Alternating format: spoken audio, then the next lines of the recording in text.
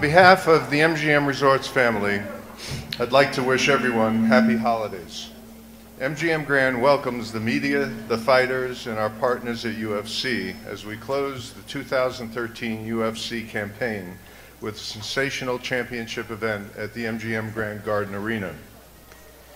The UFC 168 event promises to be a tremendous rematch as undefeated champion Chris Weidman battles the former champion Anderson Silva for the second time in less than six months. Saturday night will also be a special evening as fans have the opportunity to watch two great female fighters settle their differences as rivals Ronda Rousey and Miesha Tate step into the octagon. I'd like to extend a special thanks to Frank and Lorenzo Fertitta, Dana White, and the entire UFC staff. I'd also like to thank Keith Kizer of the Nevada State Athletic Commission. Once again, I'd like to thank all of you for being here. And now I'd like to introduce the president of UFC, Dana White. Thank you.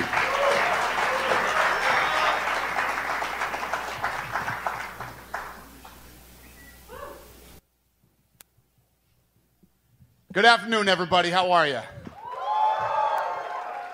Merry Christmas. Uh, you ready? You ready for Saturday night or what? I've been excited for this fight for a long time. It's been a great year. 2013, we've had some of the best fights ever in the UFC, and this here is the uh, is the grand finale. I have literally, I, you know, I sell fights for a living. I know, but uh, I have been thinking about this fight since the first one ended. I've been so excited for this, uh, this fight, and now it's finally here on Saturday night. Who's got the first question? John? Yep. For Chris, please. Uh, obviously, with, with GSP walking away recently, there's been a lot of talk about the pressure that champions have to face. Uh, what's this camp been like for you in, in your first camp as champ? Has it been any different? Have you felt those types of pressures? Uh, you know, there's always pressures in, in every camp, uh, but for this one, it's actually been a lot less. I just feel like uh, I have a lot less on my plate this camp. A lot of things were going my way uh, compared to the last one. Last one, you know, I was coming off the year layoff, two surgeries, uh, Hurricane Sandy, and there was question marks in the back of my head. For this camp, there's zero question marks, zero reasons why I lose this fight, and uh, I don't even have to even work on, you know, closing those doubts in my head. There is none. Thank you. For Ronda, please. Kind of similar, you know, after the last fight, you admitted, you know, you were kind of burned out. You had just done so much, and it felt good to get away and be recharged. Now that you're back, you know, here in front of the press conference and, and getting ready for the fight, is is there a different feeling? I mean, do you feel re-energized and refocused, or do you still feel a little frazzled? Uh, no, I feel great for this fight. Uh, it's been a long layoff between the two, and uh, I've really been able to reinvigorate my enthusiasm. And I think that uh, uh, GSP is kind of he's kind of right in that there's simplicity in the struggle and there's complexity in success. And uh, even though it's it's complicated and it's crazy and it takes a lot of energy, um, that, that's the environment where I really thrive. And so um, I've been really been able to change it up and do a whole bunch of things in this last year. And I couldn't have been more excited to start camp again. And you know, this is where I belong. This is where I feel right. Thank you. And, just lastly, for Miesha, please, uh, you did a good job in the build up to this of, of, staying calm and not getting emotional, not you know being baited a little bit. But Ronda was gone filming movies, not doing a lot of interviews. Now that she's kind of back out in the media and, and starting that you know discussion again and that talk a little bit, has it been a struggle this week to, to stay focused and to keep that calm, or, or how's it affected you? No, because I mean, I've been being asked questions about Ronda for months on months, and I think there was nothing worse than dealing with her on The Ultimate Fighter. So a couple of interviews aren't going to scare me away. I'm here to fight. A question for Chris Weidman. Uh, Chris, the first fight, I think a lot of right over here. I think a lot of people, a lot of fighters who uh, picked you to win that first fight thought that you would out wrestle Anderson. We saw you have success with that in the first round, of course, before you knocked him out in the second. Did you see enough in that first round in terms of the wrestling game to let you know definitively what you think you can do with Anderson on the ground? Uh, yeah, you know, I feel like uh, I feel like you know my bread and butter, my uh, biggest advantages in this fight is definitely the wrestling and jiu-jitsu hundred percent. And I felt uh, I felt that in the first fight. Uh, question for Anderson. Uh, you've made some comments coming into this fight that you've made some changes to your camp, maybe some personnel around you, that sort of thing. Could you give us an idea specifically about what you've modified in your camp in that regard? Você falou que fez algumas mudanças na equipe. Fala um pouco quais foram essas mudanças no, nesse camp. A maior mudança foi foi comigo mesmo. Acho que toda a minha equipe está de parabéns. Todos os treinadores fizeram sempre seus trabalhos da, da, da melhor forma possível. E na verdade quem tinha que mudar era eu mesmo. É muito difícil você é, você ser atleta e, e, e, tentar ser treinador também. E às vezes é, você acaba falhando. Eu aprendi a lição e ouvi todos os meus treinadores dessa vez e a gente está preparado. I think the biggest change was really with myself. I have to congratulate my whole team. Everyone did a great job, but the change was really in myself. It's very hard at, at one point to be the fighter and the coach, and I knew I had to change something, so I have to thank my team, and uh, the change was really in myself. And finally, for Miesha, uh, Miesha, obviously, uh, to your left, uh, sorry. Obviously, uh, there's been a lot of focus on the fact of, or the idea of defending an armbar against Ronda Rousey, but you've talked a lot about the psychological evolution uh, with your approach to Ronda coming into this fight. In this camp, was it more important for you to evolve psychologically in terms of the way that you approached her, even more so than, than working on defending an armbar? I think so. As much as this sport is physical, um, it's more mental and emotional. And I think as a fighter, for me, I had to learn that the hard way. You know, and I did. I learned that the hard, hard way. I mean, the mistake that I made was a was a physical mistake, but it was because I was out of my my element emotionally and mentally. And I think that now that I've corrected that, it won't happen again. Thanks.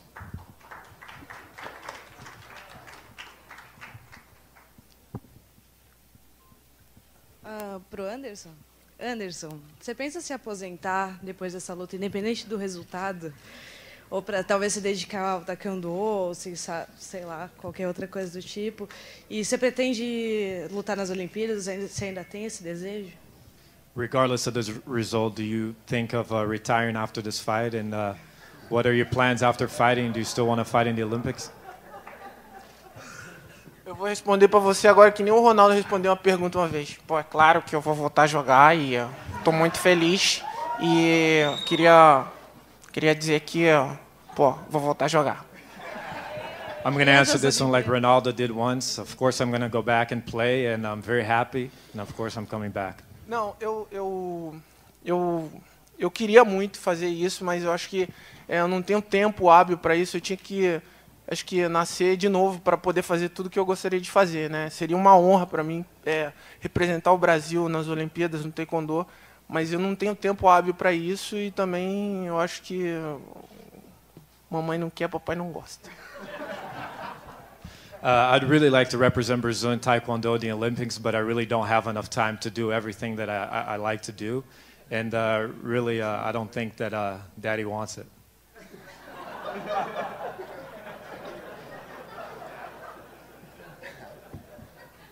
Tem uma pergunta para o Anderson Silva aqui. Anderson, é, a mídia tem especulado bastante sobre o seu futuro depois dessa luta. Alguns dizem que você pode parar de lutar, outros dizem que tem a luta com o Roy Jones Jr. e até outros dizem é, falam sobre a luta contra o Vitor Belfort no caso de você ganhar.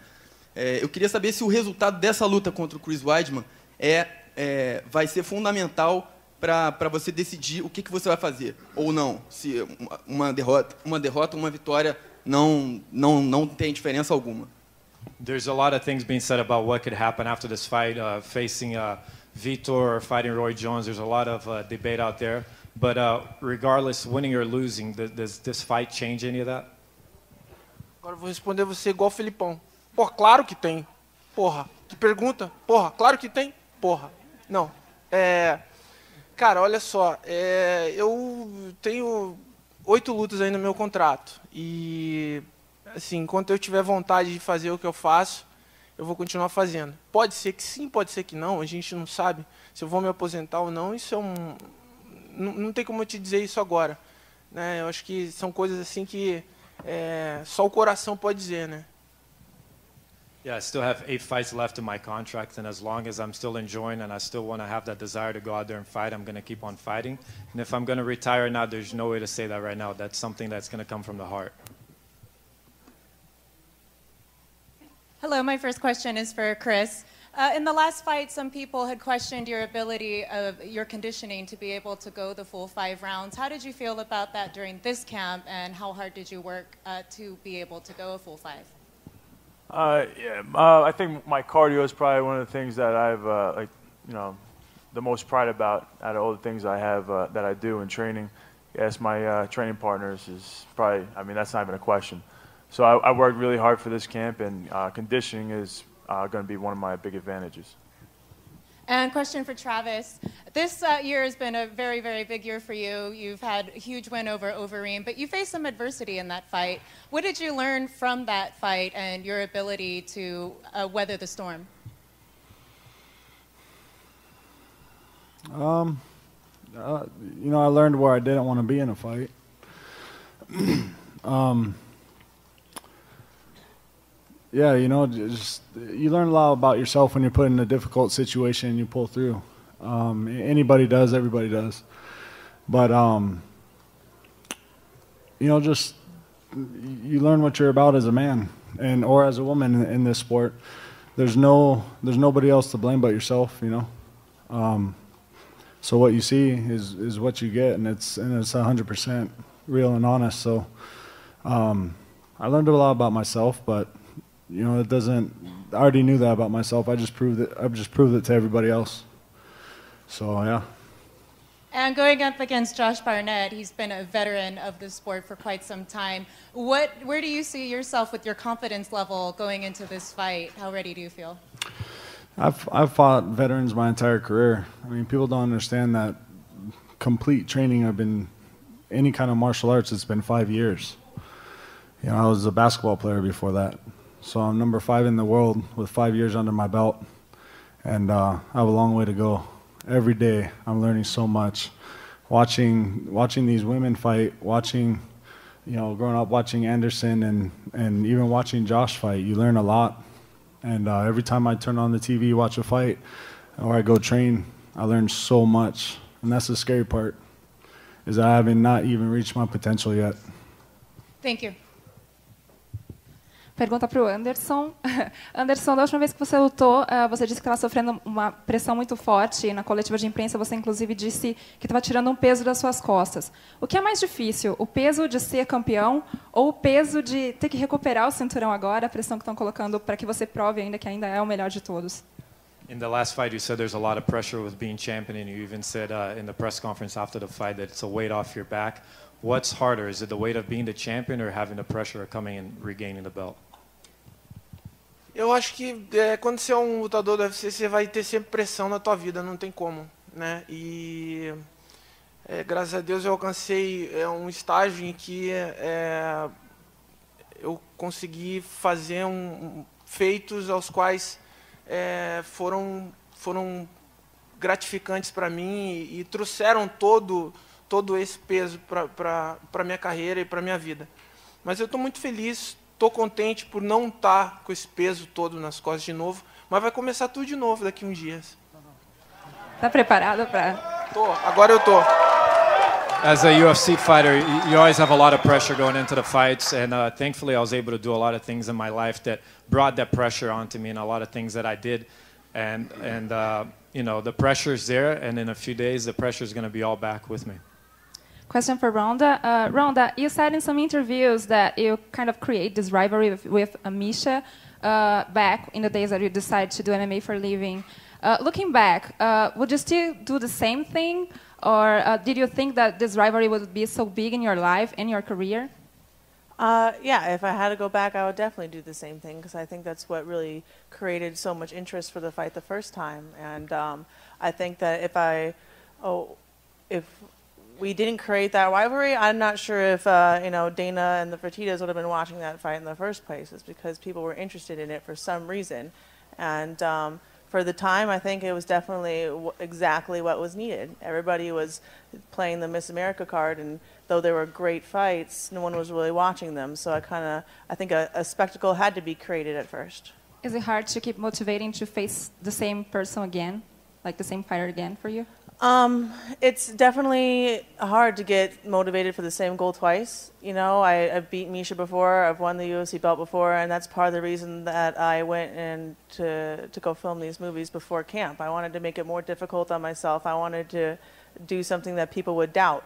And I don't want to ever put myself in a situation where it's a lose lose because if you win, it's like, oh, of course you won. And if you lose, it's the end of the world. I want every single time that I have a fight coming up, people to have a reason to doubt. And so that's what really made me super motivated for this fight is I made it even more impossible for myself and I'm going to do it anyway. Same question for Chris. I mean, is it hard for you to keep motivated to beat Anderson again? And uh, how do you think he's going to be different in this fight? I mean, mentally, in the mental part. Yeah, uh, no lack of motivation at all. You know, Anderson Silva is known as the greatest of all time. Uh, going into the first fight, it was a dream come true to fight him, and uh, a fight that I was dreaming about uh, happening since I got into mixed martial arts. And I knew if I was to beat him, we were going to have a rematch, and here it is. So my dream's not complete. I got to beat him on Saturday, and so no lack of motivation at all. How do you think he's going to be different in this fight, in the mental part? how do I think he's going to be different? that's a question for him. I have no idea. I have no idea, and I don't really care to be honest. That's up to him. Minha pergunta é para o Dana White. A gente sabe que essa luta no Brasil, obviamente, é uma luta que está fazendo o maior sucesso. A gente tem aqui um público brasileiro gigantesco que veio para Las Vegas assistir a luta. Mas a pergunta que o brasileiro é meio ansioso, né? E a gente é, sabe que o Vitor Belfort está vindo aqui para a cidade. Ele é o próximo desafiante ao cinturão? Obviously, this fight is huge in Brazil. There's a lot of Brazilian fans over here, but Brazilians are anxious, and we know Vitor is going to be in town. Is he the next contender? Yeah, I think Vitor has earned the right to uh, to face whoever the winner is. Uh, you know, Vitor has been out there fighting, taking uh, taking on all comers, and yeah, he's next in line, no doubt about it. Um, yeah, this fight's big in Brazil. This fight's big everywhere. Like I said, when I started the press conference today, I uh, as soon as this fight was over, you know, I, I, I was over on Saturday. I was in L.A. with him on Thursday, trying to make the next one. So uh, I've been excited for this fight since the first one ended, and this fight's big all over the world. Uh, Chris here. Uh, do you think you have uh, any special stuff to prove in this fight? Even you knock him out, uh, Anderson in the first round. Some people said you got lucky in the first uh, fight. Uh, I, I, got a lot of proof to myself. You know, uh, obviously I have a lot of doubters out there, um, and you know I'm never going to be done proving them wrong. There's, there's always going to be plenty of doubters, but my goal is just you know to be the best me out there, go out there, get a finish, and, and do it in a, you know in, in an impressive fashion. You know, I just want to shine out there and, and show that this is my belt, and that I'm going to be here for a long time. Thank you, uh, Ronda. Um, I don't know as you know, but do you have a lot of uh, Latino fans uh, that people know? Do you have a Venezuelan blood in your body? How do you feel about that?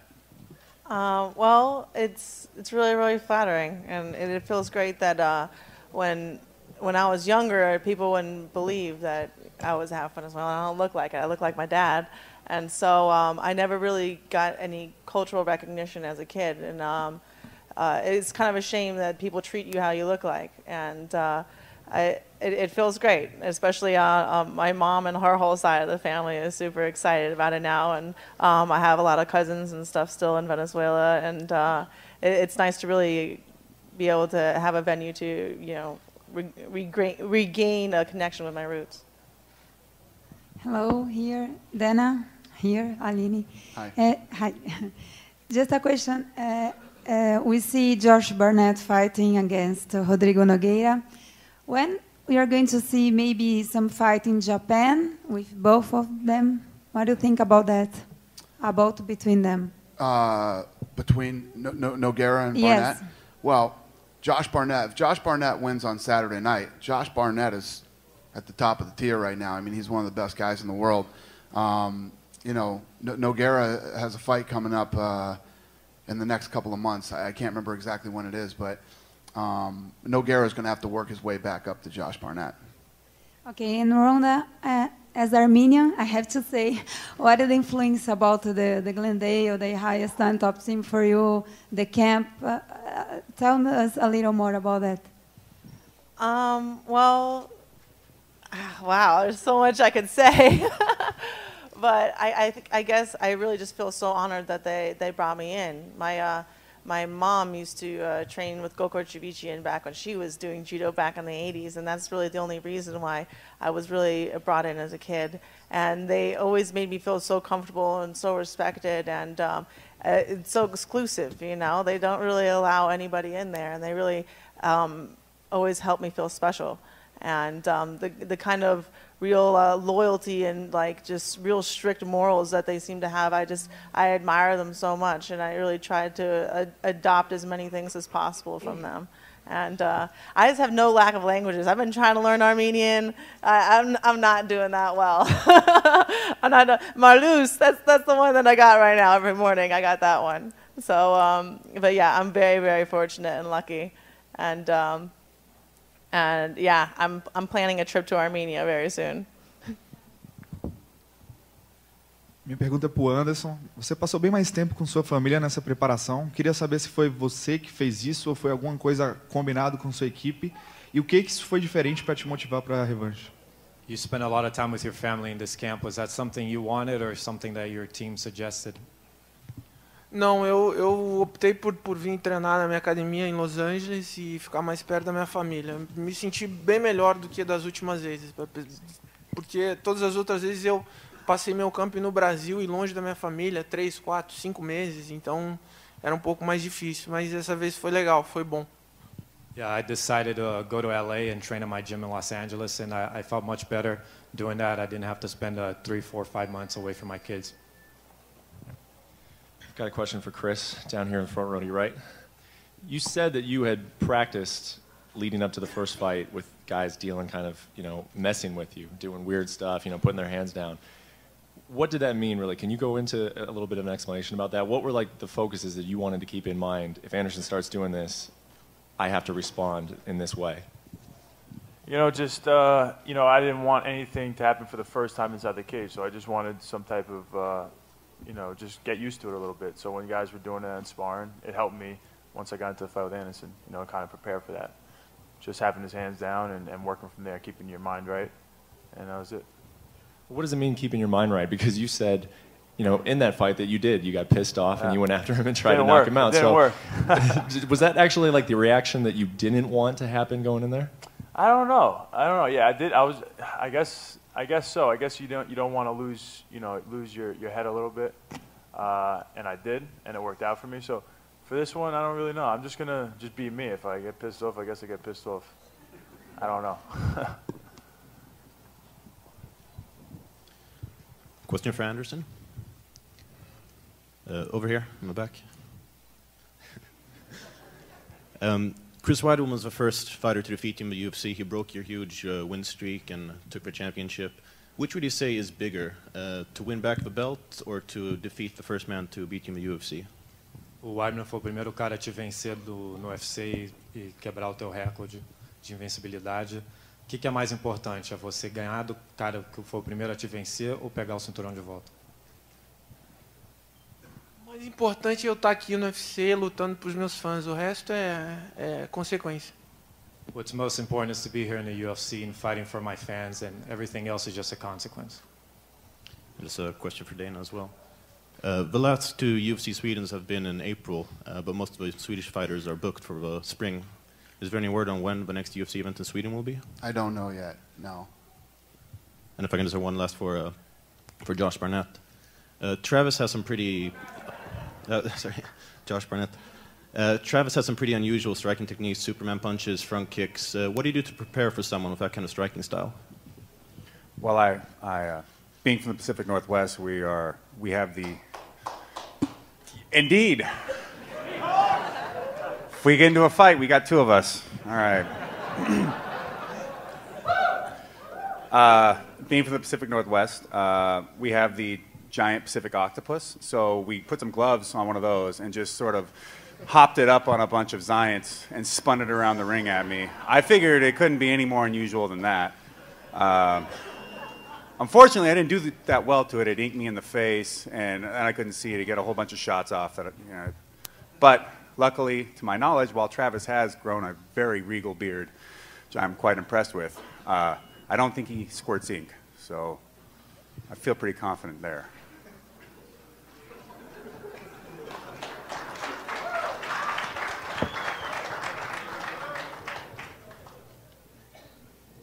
Question for Anderson.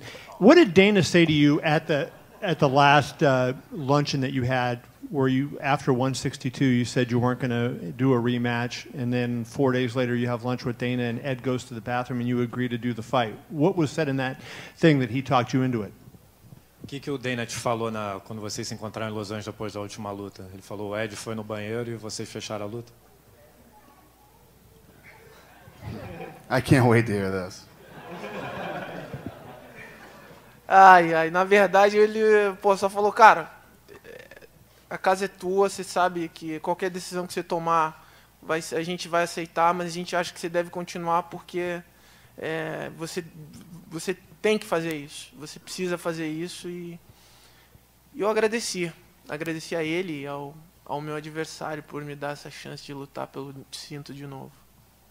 In reality, uh, he said, you know, feel at home, but uh, we think you should do this. We think you should come back and go in there. And uh, I thank my opponent and I thank Dana for making this happen again. Anderson, when, when you got there, had you made up your mind, hey, I, I do want to fight, or did he actually talk you into it that day?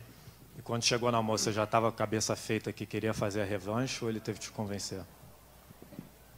Na verdade, depois que caiu a ficha, depois que eu saí da última luta, é, eu, eu, eu fui pro quarto, dei uma pensada e tal. Falei, pô, acho que agora é hora de parar, né? Acho que deu. Né? Mas aí eu peguei o telefone falei com meu filho, meu filho falou para mim assim, pai, faça o que tem que fazer e esquece o resto. O que vai te fazer feliz é o que você gosta, então vai até o final. After the last fight, after the dust settled, uh, I was sitting thinking alone and you know thinking maybe I should stop, maybe this is it. But uh, I got on the phone with my son, and my son said, "Hey, you know what, Dad? Do what you want to do. Do what makes you happy, and that's what I'm doing."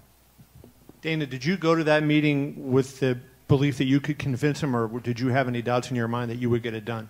I felt going into that meeting that he wanted that rematch, that he wanted to come back, and that he wanted it. Uh, you know, you can't you can't make anybody do something that they don't want to do. It's not like I have this Jedi mind power over anybody. It's I, I showed up to a meeting that I thought that he wanted this fight, and, and I was right. He, uh, he he was actually fired up in that meeting, and, and he wanted the fight. Uh, question for Chris. Uh, Chris, how does this one feel as opposed to the first one in the lead up? Uh, is it still that me against the world type deal, or, you know, do you feel like, hey, I'm the champion, he's got to take this from me?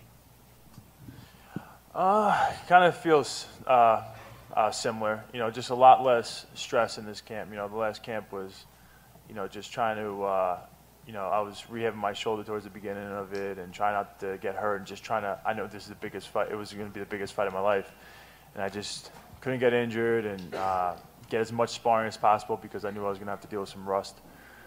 It was just a lot of stress just to just to get all that off. And this fight was just less less stressful with uh, with that. Just I went in there, I was able to, you know, kind of just work on new things instead of being so stressed on uh, some of those other stuff. So I don't know if I really even answered your question, but all right, good. Uh, Josh, you were one of the few, you know, top-level fighters who worked with women fighters throughout your career, like Shayna and Megumi. What did you see in them that said, "I'm going to put this much time into them"? And did you ever see a day happening where, you know, co-main event, you know, women are headlining?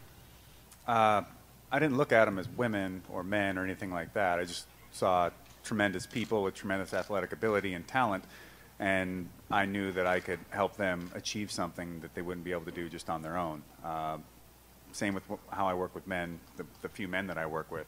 Uh, basically, to give back from all the people that have put into me and all the tradition and the knowledge. You know, the knowledge just doesn't come from that one individual. I mean, there were the people that trained them, and the people that trained the people that trained them. And, when you think about it, sometimes there's hundreds of years put into one that culminate into one person.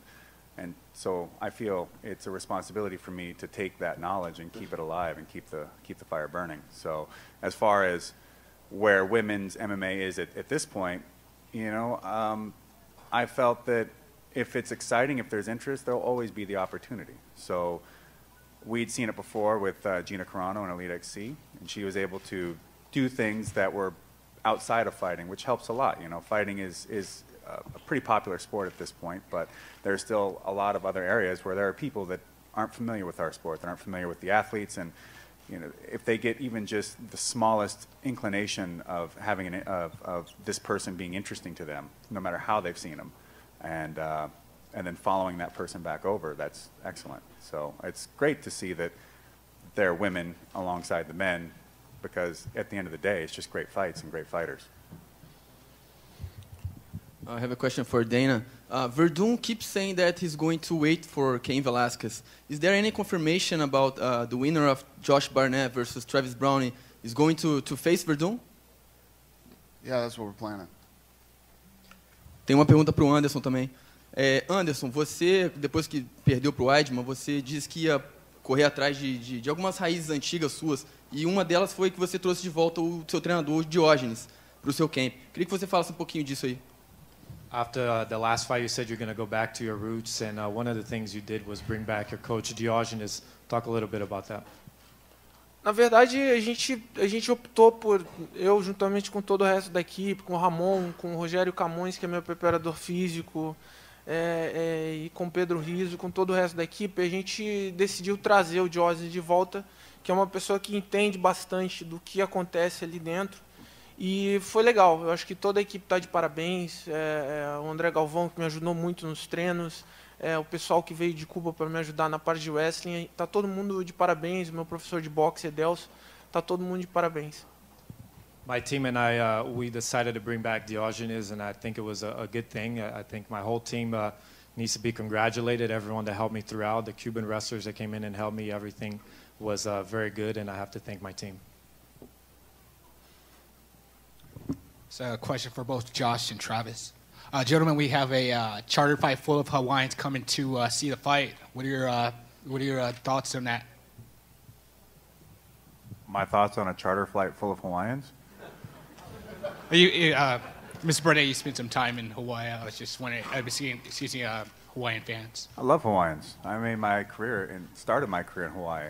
I think the place is fantastic. I've got a lot of fans in Hawaii, and um, I hate to make them choose sides, but I think, you know, at the end, they don't really care that much as long as we get in there and start punching each other in the face well. By the way, that's a very nice sweater. I, I like that. It's, it's, it's not just a straightforward sort of thing, and it's got the little leather clasp on there.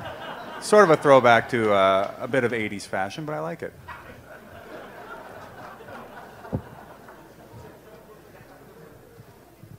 I don't know how to top that answer.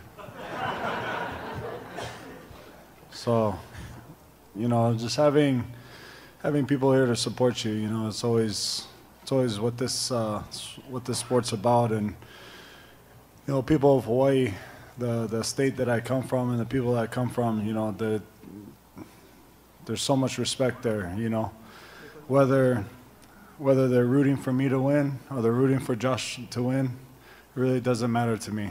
It's about the respect and having having your people there to to watch a, an event like that.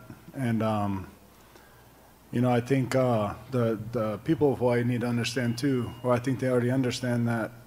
You know, having having these boys in here, myself and all the other Hawaiians, Tavares, Holloway, and stuff is it's a tribute to hard work and dedication to something that we love.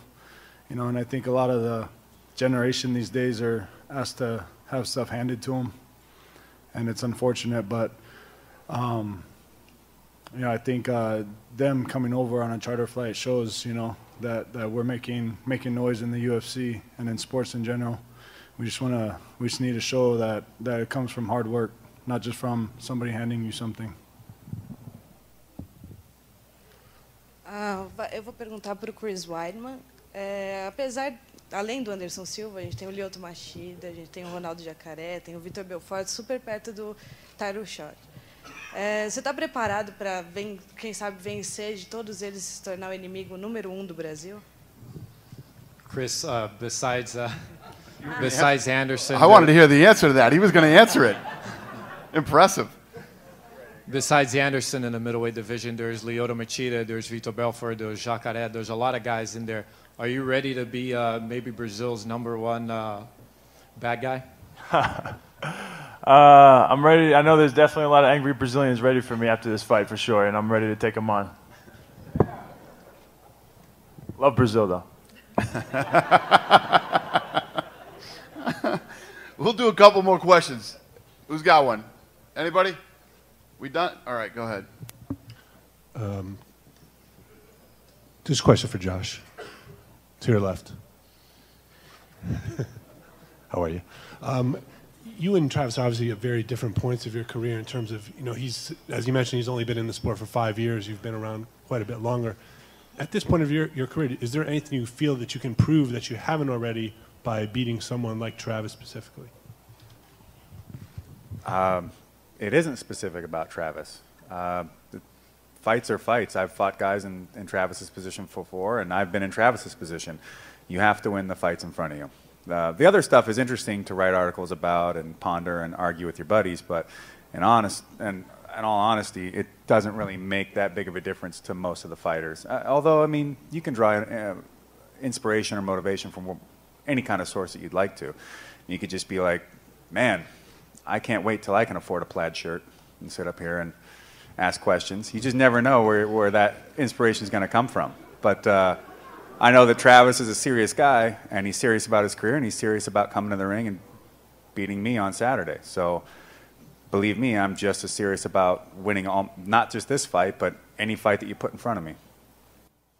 And with Cain injured, um, the belt's going to kind of be on ice for a little while. And I, I assume, obviously, that's your goal in the Mm-hmm. long run. You're 36. You're performing really well, but 36 for an athlete is sort of getting up. Yeah, there. I'm an old guy. Yeah, um, Old guy.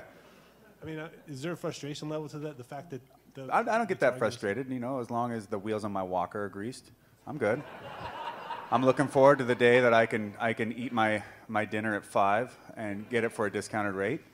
And uh, you know, I think that the the new rascals that are coming out are are very very stylish. They got they're a little quicker too, you know. You know me, I'm a big car guy. But uh, what was the question? I'm old, yeah, who cares, you know? Stick the belt on ice. Just keep a bottle of whiskey there for me as well. Listen, I want to thank all the people who flew in from all over the world to come in and see this event on Christmas, uh, Christmas week.